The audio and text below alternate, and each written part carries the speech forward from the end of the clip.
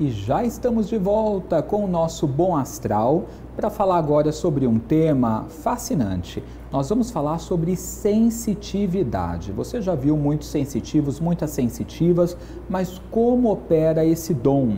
Será que atrapalha no dia a dia das pessoas? ficar por aí sentindo, percebendo coisas, coletando impressões? Será que isso atrapalha as pessoas no dia a dia? Como pode ajudá-las também? Então, para falar sobre isso, nós estamos recebendo hoje a sensitiva Mari Silva. Tudo bem, Mari? Tudo bem, Edu. Tudo jóia. Tudo bem. Fico feliz com a sua vinda aqui, viu? Eu que me sinto honrada de estar aqui com você. Agora, Mari, você é uma grande sensitiva, né? Há muitos anos atendendo as pessoas, muito conhecida, já fez muitos programas de TV. Mari apresenta programa também aqui na Astral TV.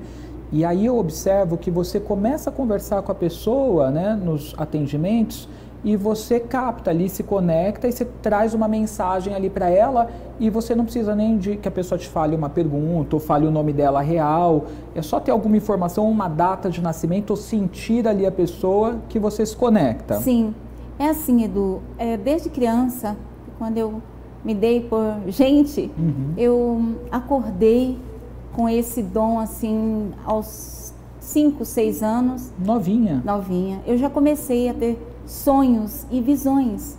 Então essas visões que eu tinha era, eu vou dar um exemplo. Eu tive uma visão que ia haver uma tempestade e que ia cair a nossa casa, uhum. que a enchente ia levar a nossa casa. Nossa. Nós morávamos próximo a um rio, uma, uma fazenda. E ninguém acreditava, meus pais não acreditavam, né? Falava, imagina, isso não é dia. Eu fiquei o dia todo falando. Era uma sensação, assim, de como se eu estivesse vivendo aquilo. Uhum. Então, é, eu via tudo, aquilo, os acontecimentos. Então, quando aconteceu, realmente foi de madrugada. E nós, minha mãe, meus pais tinham, nós tínhamos uma mesa de madeira enorme na cozinha. E foi lá que nós abrigamos. E eu falava os detalhes como seria a nossa salvação e onde tínhamos que ficar escondido. Então isso é, assustou muito a minha mãe, despertou na minha mãe uma insegurança, um medo. Ela passou a me esconder, ela passou a, a olhar para mim com outros olhos, sabe? Uhum. E, e foi muito difícil na época, porque naquela época as pessoas não entendiam o que era dom, ninguém sabia o que era um dom, não. né? As pessoas olhavam o dom como algo, nossa, né, bruxa. É, né? e alguns viam até como uma loucura, como uma né? loucura, isso é loucura, isso é, é mentira, isso não existe. E aí eu fui começando a perceber muitas coisas e sem e, e assim e as vozes que falavam comigo, uhum. aquelas vozes, sabe? Então aquilo parecia que eu não, não vivia com aquela família, mas sim com aquele com aqueles seres invisíveis. Eu conversava com eles, eu sabia tudo que eu tinha para para seguir o que eu tinha que fazer, que eu não ia ficar com os meus pais, que quando eu tinha, tivesse 11 anos eles iam me doar. Então eu falava o detalhe da casa que eu ia ficar, eu falava toda a minha história, eu falava que eu ia ter programa em rádio. Uhum. Olha só. é, eu, eu ia, que eu ia ser diferente de todo mundo. E aquilo despertava na minha mãe uma loucura. Ela falava para mim: você é louca, você não é minha filha. E eu falava assim, não mãe, eu sou, eu, eu quero o bem de todo mundo, uhum. né? E, e orava muito. Eu falava com Deus o tempo todo, eu falava, e vivia olhando o céu. Eu ficava olhando o céu, as estrelas, chovia, eu ficava olhando, falando para minha mãe, principalmente quando ia chover, quando ia acontecer, hoje vai chover. Uhum. É, não vai, sabe, assim, eu tinha uma sensibilidade muito grande. Então, para minha mãe, para o meu pai, aquilo, o meu pai ficava em silêncio, mas minha mãe, ela ficava assim, porque ela tinha medo de levar pessoas em casa e eu soltar uma, sabe? Uhum. Falar algo que não devia. E eu falava. Eu não tinha esse controle como eu tenho hoje. É porque criança também não tem filtro, né? Não tem filtro. Então, então você recebeu ali a é, visão, é, você fala. Sabe? Sim, vou, vou te dar assim uma, uma, uma, uma, uma noção de, do que aconteceu. Quando hum. eu tinha sete anos, nós fomos numa missa. E cheguei lá, a filha da minha madrinha estava grávida. Uhum. Ela era uma menina bem jovem, muito tímida. E eu disse, olhei na, naquele ventre, eu vi aquele, aquele, aquele bebezinho e eu falei assim: Olha, você está grávida, tem um neném na sua barriga, é um menino. E quem vai fazer o parto é minha avó. Você está entendendo? Então, Aham. Aí eu falava, a criança vai nascer com uma cabeça enorme. Você vai ter muitos problemas para nascer esse bebê. Então, na frente de todo mundo, padre, então todo mundo naquela época, era difícil as pessoas entenderem isso. Sim. Então ali a minha mãe já começou a me prender, Uhum. já começou a me, me deixar presa, não, não- chegava visita em casa, ela pedia que eu saísse. Então eu ia para a natureza, eu ia para o meio do mato, até a visita sair para eu voltar para casa. Então para mim foi é, foi difícil, foi, mas parece que eu entendi aquele chamado. Uhum. Eu entendia, porque eu via o futuro, meu futuro, eu via. Então eu não tinha tanto medo de, de falar. Eu olhava assim, via, mas assim, usava muito para ajudar, não jamais para prejudicar. Uhum. E realmente a moça estava grávida, teve um, be- um bebê, o bebê era um menino, e assim foi. Aí quando eu completei 11 anos, né, muitos já conhecem minha história, ela, ela, me- ela resolveu me doar, porque ela ia vinha, veio de Minas para São Paulo, Uhum. então ela foi para uma cidade no interior que chamava Buri, que chama Buri, interior de São Paulo. E chegou na rodoviária, ela resolveu, falou: "Olha, eu não vou te levar comigo, você vou arrumar um emprego para você trabalhar de empregada doméstica". Eu amei. Uhum. Pensa numa criança assim, eu amei. Eu falei: "Ai, a senhora vai me entregar para a mulher que tem uma, uma árvore enorme na porta, na, na- na calçada". Aí bateu na primeira casa, na segunda casa, na terceira era mulher. Era uma senhora alemã, né, da, da cidade de Tapetininga. E ali ela me entregou, assim como se estava tudo escrito, Edu. Aham. Sabe, Daí tudo- você foi criada por ela. Fui criada por essa mulher. E ela conseguia lidar com mais facilidade? Não, que... ela me trancou. Ela me trancou num quartinho sem, sem luz. É, eu fiquei 11 anos trancada nesse quartinho, que foi meu grande, sabe assim, eu falo que foi meu, minha grande, meu grande portal de, de libertação, porque através dessa prisão que ela me, me, me colocou, eu aprendi a amar, eu aprendi a me colocar no lugar das pessoas, eu aprendi a ouvir as vozes de quem passava nas ruas. Então, aquele, todos os dias às quatro da manhã, ela abria a porta para que eu lavasse a calçada, esfregasse o quintal. Na época tinha eh, passar aquela cera, passar escovão, e eu ficava lá fazendo todo o trabalho. Muito rápido, ela exigia que eu fosse muito rápido. Eu tenho marcas nos meus joelhos Mas até um hoje, cárcere nas minhas privado? mãos. Então eu ficava ali, eu cantava, aí tinha um- uma pequena abertura, na, no, dois vidros assim, um- um- é bem pequeno o vitrô, e ali eu subia numa máquina de costura e ali era o meu contato com Deus. Ali eu orava, ali eu falava para Deus do meu dia a dia, ali eu conversava, é, fechava os olhos e voava, porque eu não olhava com os olhos físicos, porque eu não tinha o que ver, mas eu fechava os olhos e eu conseguia estar com aquelas pessoas que passavam nas ruas, que elas tinham problemas, eu vivia, sabe, eu acompanhava elas mentalmente. E assim eu descobri meu dom, né? Isso foi até quantos anos na casa dela? Dos 11 aos 22. Aos 22. Aos 22 anos. Então, quando eu falo dela, às vezes eu, às vezes eu estou num, num programa, seja de rádio, até mesmo aqui, Aham. e eu preciso, assim, me conectar com a pessoa, que nem sempre as pessoas que me procuram é, conseguem se conectar. Tem medo de, né? Sim. Ainda mais numa rádio, numa TV, eles têm medo, eles ficam, nossa, se ela descobrir, né? E aquilo para mim era mágico, porque eu olhava a pessoa, assim, eu sentia ela, eu sinto ela. Então, quando eu estou no ar, eu fecho os olhos, eu não vou até. Eu, eu entro primeiro naquele quartinho e, e- e sinto a força de Deus em mim para eu poder estar falando com as pessoas.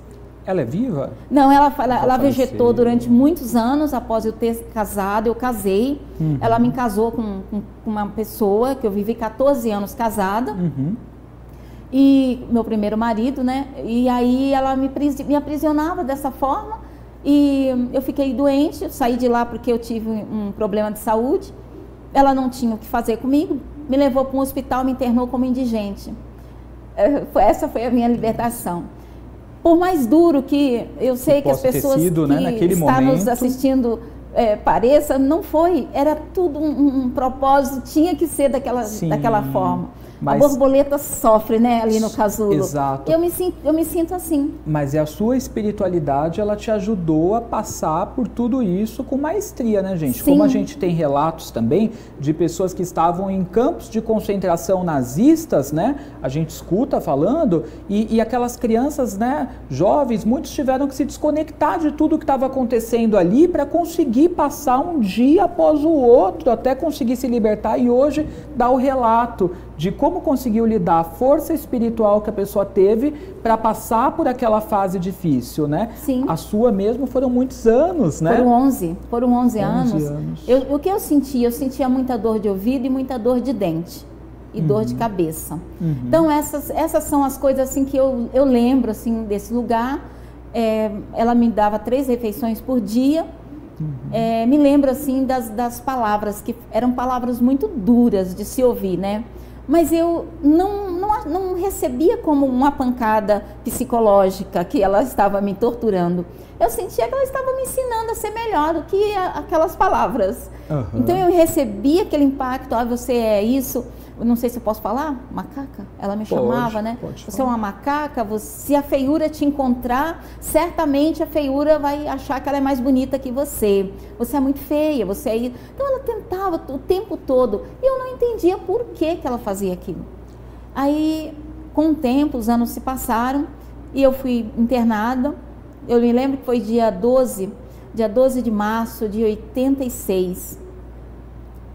É, dia 12 de março de 86. Esse dia foi o dia da minha libertação. Aí eu fui internada e fui operada, fui salva, e aí ela apareceu lá para me visitar. E aquele dom, assim, eu não sentia nenhum momento, ai, agora eu vou, vou me vingar, vou entregar ela à polícia. Uhum. Eu tive uma visão do outro lado. Uhum. Enquanto eu estava na UTI, que eu fiquei muito mal depois da cirurgia, e eu tive uma visão que não era para eu é, fazer, ter vingança, querer vingança, querer justiça da terra, uhum. mas que isso ia ajudar milhares de pessoas que estavam encarceradas, uhum. sabe? Muitas pessoas, para as pessoas entender que cada um tem uma missão na terra, que cada um tem um dom, que devemos olhar para dentro de nós para é, nos, nos conectarmos com Deus. Sim. Porque muitas vezes a gente olha em torno de nós e não conseguimos ver Deus, sentir Deus. E Deus não está, sabe, é, você tem que olhar para dentro. Uhum. Então eu aprendi isso. Não é fora, é dentro. Não, é dentro. É, é, você tem que olhar. Você quer se aperfeiçoar alguém? Uhum. Olha para dentro de você. Quando a gente olha para dentro da gente, a gente fala, poxa, obrigada, professor, por eu estar aprendendo. Então, isso eu fui ouvindo das vozes, eles foram me treinando. Uhum. Eu nunca tive estudo, eu nunca fui a uma escola, uhum. eu nunca estudei, né? Não consegui, né? E aí eles começaram a me treinar, a me ensinar, e eu aprendi. Aí meus filhos foram crescendo e eles foram me alfabetizando, me ensinando, sabe? Então, uhum. eu, eu, eu agradeço muito a Deus, sabe? Por Ele ter me escolhido na terra para que eu pudesse levar o amor para as pessoas desta forma. Uhum. Ter dom não é fácil. Não. Não é fácil você ter dom. Porque as pessoas, eu vejo que eu, eu atendo muitas pessoas que falam para mim, Mário, eu tenho um dom, não sei lidar com ele. Porque o que, que acontece com o dom? Tem a história do ego e da vaidade, né? Eu sou poderoso. Nós não somos, Deus é. Então, quando você coloca Deus à sua frente, flui, a uhum. coisa anda, vai, sabe? Você vai enxergando o que você precisa enxergar, né? Então é isso. Uhum. Mari, parabéns pela sua história, é, pela forma como você é, conseguiu lidar com isso, né? É sinônimo da sua força espiritual ter passado, né, por tudo isso e ter conseguido ressignificar. Porque nesse processo as pessoas têm muita dificuldade, ficam ressentidas, magoadas, cria bloqueios, entrave, é, complexo, baixa autoestima pelas coisas horríveis que você ouviu e você conseguiu é, se blindar, fazer com que tudo aquilo não te atingisse, né? Que eu acho que é uma coisa que a gente precisa aprender, gente. A gente não precisa deixar o mundo lá fora nos afetar internamente, né? É, realmente. Você sabe, Edu, eu tenho algo comigo que é muito meu isso, eu não sei te explicar. eu encontro pessoas no meu dia a dia, até quem convive comigo, quem trabalha comigo, eu observo as pessoas, eu falo, essa pessoa necessita disso para sorrir. Uhum. Eu tenho necessidade de fazer alguém sorrir. Uhum. Eu tenho isso, eu, eu, acho que o meu choro que calou ali dentro, ele tem que ser colocado para fora, assim, a, a alegria para fora, através de quem convive comigo, das pessoas que muitas vezes nem sabem quem eu sou. Uhum. Mas só de eu saber que uma pessoa está feliz, que eu proporcionei uma alegria para alguém, Edu, é um gozo na alma. É maravilhoso. que legal. Gente, já já a gente vai continuar esse bate-papo com a Mari Silva. Tenho certeza que você está adorando conhecer um pouco mais aí da história dela. Nós vamos falar mais sobre sensitividade, sobre como lidar, né, com esse seu lado, se você tem também, tá? E daqui a pouquinho, mas antes eu tenho um recado para você. A gente vai fazer uma pausinha só para te dar um recadinho em relação à sua saúde física, que é muito importante você cuidar dela também. Aqui no programa a gente sempre fala da saúde espiritual, mas a física também é essencial. Ninguém merece viver com dores. Você que sofre de males como osteoporose, artrite, artrose, nós temos um recadinho para você. Dá uma olhada. Você que vive comprando produtos para dor e até agora não encontrou nenhum produto que realmente funcione.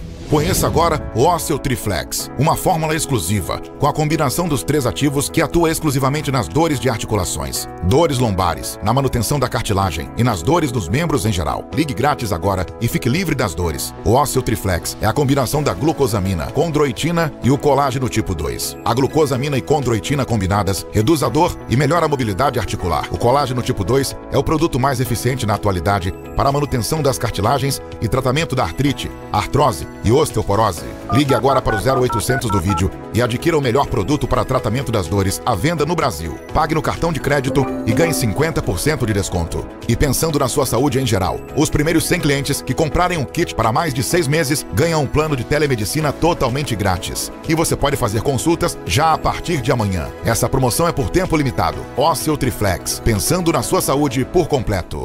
Você que vive comprando produtos para dor e até agora não encontrou nenhum produto que realmente funcione. Conheça agora o Osseo Triflex, uma fórmula exclusiva, com a combinação dos três ativos que atua exclusivamente nas dores de articulações, dores lombares, na manutenção da cartilagem e nas dores dos membros em geral. O Osseo Triflex é a combinação da glucosamina, condroitina e o colágeno tipo 2. Os primeiros 100 clientes que comprarem um kit para mais de seis meses ganham um plano de telemedicina totalmente grátis. Osseo Triflex, pensando na sua saúde por completo. 0800 401 5000 0800 401 5000 é o telefone para você obter mais informações sobre o ósseo triflex, porque ninguém merece viver com dor, né, gente? Então, bora se cuidar. Bom, dado o recado, a gente volta com a Mari Silva. Estamos falando sobre sensitividade. Ela nos contou a história dela, história forte, né, de superação, um exemplo e que nos ajuda também a reclamar menos, né? Porque a reclamação também é uma energia complicada, né, Mari? Muito Ela não atrai nada de bom, né? Muito complicada. Devemos olhar tudo que é negativo, tudo que acontece, todo o processo negativo em nossas vidas para visualizar o novo, uhum. né? Não existe a borboleta, o, o casulo, né? Sim. Aquele processo, todos nós temos que passar esse processo. Porque quando nós estamos passando algo que não está positivo, você não tem que focar naquilo que é negativo, você tem que focar é na luz. Aí eu vou, você vê, eu tava, estava dentro daquele quartinho, eu já falava assim, ah, eu vou ter um programa de rádio. É, é assim, sabe? Eu, eu já projetava, eu ensinando as pessoas a não fazer aquilo que aquela mulher faz, de uma outra forma, amorosa. Uhum. Então isso é importante. Agora, falando sobre os seus dons, né? Você é sensitiva, então a sensitiva ela sente, né? Como que é. tá aquela pessoa, a energia do ambiente, isso vem no coração, assim, você sente? Sabe, Edu, assim, no começo foi muito difícil eu lidar, porque eu só de eu passar na frente da casa de alguém, eu passo, eu, eu sinto a, a calçada, a entrada da casa, eu sei o que se passa lá dentro, eu consigo canalizar, parece que eu sou levada lá dentro para ver sabe todo o processo daquela família, como eles vivem. E isso mexeu, mexia muito comigo, porque eu entrava nos lugares, eu tinha vontade de falar com as pessoas. Uhum. Quando eu era inocente, que eu não entendia, eu levantava e ia, olha, Deus está mostrando isso, isso para mim. É realmente a pessoa ficava assustada, mas depois começava a vir atrás de mim. Uhum. Quando eu comecei a atender, foi muito é, foi mágico. Eu tinha a necessidade, quando eu me separei em 2000, é, fevereiro de 2000, eu comecei a, a sentir desejo de falar com as pessoas, de curar as pessoas, de fazer elas olharem para dentro delas e curar os traumas, os medos, uhum. né? E aí eu comecei a ligar para as pessoas sem, sem, eu ligava. Quem atendesse o telefone, eu profetizava ali para ela tudo que ela estava vivendo. Como eu faço na rádio, só que diferente. Eu ficava uma hora com a pessoa sem se importar com a conta do telefone, que naquela época era telefone fixo. E eu falava toda a história da pessoa. E um falava para o outro, pegava meu número e começaram a aparecer as pessoas. Então, foi assim que eu descobri o dom de que eu podia viajar é, né, ali e falar, me conectar com as pessoas sem elas precisarem falar absolutamente nada. Eu simplesmente, quando ela fala alô, eu ouço a voz, eu viajo naquele quartinho e ali eu transmito o que ela precisa ouvir. Isso é, me trouxe é, não só para para a alma da Mari, mas assim para o ser da Mari, que ela, ela tinha um propósito. Por que, que a Mari veio? A Mari veio para libertar, a Mari veio para ensinar, a Mari veio, mesmo eu não tendo assim, né, o físico aqui preparado fisicamente, mas espiritualmente eles me prepararam. Uhum. Então isso é muito bom para mim. Inclusive, pessoal, a Mari tem o um programa Resgatando Você aqui na Astral TV toda sexta-feira, meio-dia e meia, ao vivo. E no programa você tem a oportunidade de receber uma mensagem, tá? Não é um atendimento, já já eu explico sobre atendimento particular, mas é uma mensagem. Então você manda uma mensagem no WhatsApp da Astral TV. Aliás, daqui a pouquinho vai ter o programa dela, Resgatando Você. A produção acabou de informar que quem quiser já pode mandar mensagem, tá? Então, basicamente, você coloca o seu nome. Se você não quiser, não precisa ser o nome verdadeiro, pode ser um nome fictício, isso não tem problema, Com né, certeza, né, Mari? Não, é só eu preciso só da data do nascimento. Isso. Você manda então o nome ou nome fictício, a data de nascimento, se quiser contar também é, o local onde você está assistindo o programa, pode mandar sua mensagenzinha e você já pode começar a enviar no WhatsApp da Astral TV, porque hoje, daqui a pouquinho, tem programa dela ao vivo e aí as primeiras pessoas certamente serão atendidas, tá? Então pode mandar no código 11, número 96271 0106. Então, repetindo, 11 9 6271 0106. Aí ali, quando a Mayra, que é sua assistente, lê ali para você, né, o nome, Sim. você se conecta com a pessoa e transmite pessoa, uma mensagem. E consigo entender o que ela está vivendo, o que ela precisa mudar para seguir. É muito rápido, né? Então não dá para falar muito, uhum. mas é muito gratificante você poder é, se sentir útil, você passar aqui nesse, nessa, nesse plano, sabendo que você ajuda as pessoas. É muito bom você guiar uma pessoa com, com respeito, com carinho. Né? Muito legal. Então você quer receber uma mensagem da Mari, daqui a pouquinho tem o programa dela Resgatando Você, meio de meia na Astral TV. Então tem só um intervalinho, depois que acaba o Bom Astral, tem um, uma atração rápida, daí já começa o programa da Mari. Agora, você que está precisando conversar com a Mari em particular, porque aí é outra história, né? Sim. Um atendimento particular, a pessoa consegue ouvir tudo que ela tem a dizer, tudo que ela capta e de repente pode se fazer alguma pergunta para você também, né? No final do atendimento, porque geralmente a pessoa liga, fala o alô e aí eu vou interagindo com ela. Não, não precisa você me dar nenhuma informação. Eu, você sabe que até me atrapalha quando a pessoa fala, Mari, eu estou passando, eu quero saber da minha vida sentimental. Isso, uhum. me, sabe assim, que te limita. É, limita. Eu falo, poxa, eu queria voar até lá para falar e ela falou, uhum. né? Então eu gosto de sentir a pessoa e ela fica ouvindo, eu vou falando, falando. Quando eu termino a, o atendimento, a pessoa fala para mim, Mari, eu não sei mais o que falar porque você falou tudo.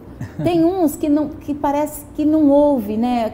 Aquilo que você está falando, está querendo ouvir, ouvir, ouvir e é, são aquelas pessoas que se encontram presas dentro delas mesmas por, por traumas. Uhum. Pessoal, para você saber mais sobre atendimentos com a Mari Silva, você pode segui-la no Instagram, tá? Vamos deixar aqui já o arroba oficial Mari Silva. Mari com Y. Então, arroba oficial Mari Silva e tem também um WhatsApp que você pode escrever para pedir informações sobre os atendimentos da Mari. É código 11, número 99125 6208. Então, repetindo, 99125 6208. Você vai mandar sua mensagem lá e a equipe da Mari vai explicar como que faz, como que funciona, te dar as instruções para agendar você o mais rápido possível. Mari, quero agradecer muito sua vinda, você ter aberto para a gente sua história. Muito Tenho certeza obrigada. que vai ajudar muita gente. Muito viu? obrigada. Eu me senti assim honrada de você ter me feito esse convite. Muito obrigada. A gente que ficou com a sua uhum. vinda. Gratidão. Gratidão, agradeço imensamente. Daqui a pouquinho começo resgatando Daqui você. Daqui a pouco resgatando você. então, gente, a gente já vai se despedindo. Obrigado pela sua companhia. Que você tenha um final de semana maravilhoso. Se quiser rever esse programa, tem reprise hoje às 18 horas e às 23 pela Astral TV. Eu vou ficando por aqui, volto segunda-feira ao vivo às 11 da manhã. Bênçãos de luz e até lá. Tchau, tchau.